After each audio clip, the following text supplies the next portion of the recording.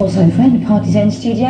Now, first of all, the usual stuff. How, how exactly did you did you guys form? How did you meet? What happened? About six years form? ago. About six years ago. Yeah, we were. Um, yeah, we used to like do graffiti and stuff. We met through a mutual friend. We are both DJs as well. yeah. And then we just started doing mixes together. Like we just sort of carried on the DJing thing because it was something we were both interested in. Mm. And then it just sort of evolved from there. We got samplers and drum machines in on it, and We ended up taking other people's music out of our mixes. yeah, completely. Became our own mixes, became tracks. Yeah. And what about for people? For a lot of people, this this kind of music style, like, well, how exactly would you like to call it? Would you call it electronic music, intelligent techno? I mean, what, you know, I don't know what the right name for it is, but what, what, what's, so what's the difference between you and Aphex Twin or whoever is BDJ, anyone? What, what, what's the difference? Just a different sound. That's all it is, literally. I mean, it's like the only reason we get grouped with Aphex Twin is because we do things that are original and we still do dance music. And it's like, unless you kind of garage or you, you know, unless it's easily definable, we kind of shove you in our bracket, which is mm. kind of original music.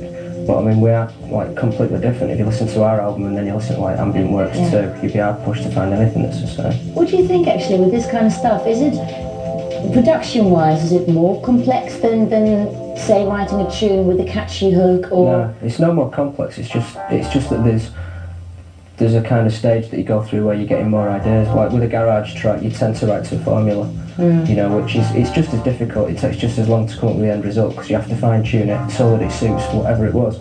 Whereas if you're doing music like ours, it's about having ideas, but it's quicker because you I don't. think with our stuff, as opposed to say like a garage tune, you write to a formula, and if it goes beyond that formula, you cut whatever you don't need off. yeah, You, you mm-hmm. keep it perfect, traditional to garage. With the sort of stuff we do, you can go on forever doing what you want to do. That's all we're doing.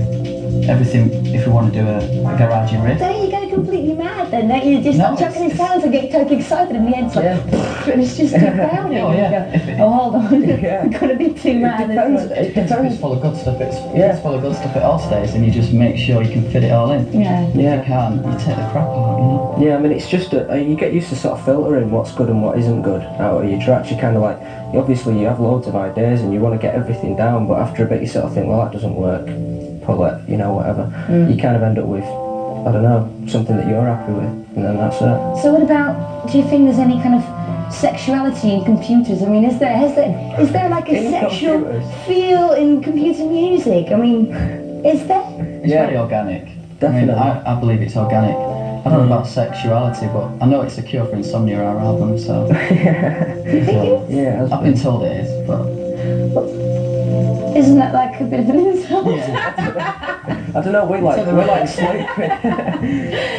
And um, another thing, what about what about all these all the names? It's like a lot of mad, complex names for songs. I mean, where did they all come from? And what, what, They're just in jokes. That's all they are. Plays I mean, all, yeah, all our titles are in jokes. Like, so, for instance, Metal.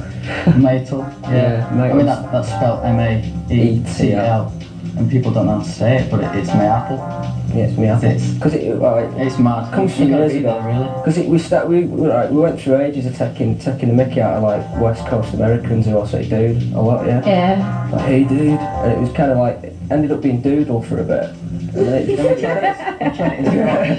it just got I love really when people got their own lingo. It's wicked. Yeah, Okay. it just and then it, it just It ended went up being Scottish and then uh, Australian. So it's like a a West Coast Australian Scottish accent for friend. Yeah. You know. Nice one. Anyway, listen, let's move from Autechre in just a minute. First up, um, a bit of the warp motion. No, the warp um, long form video motion. That's it. Here it is.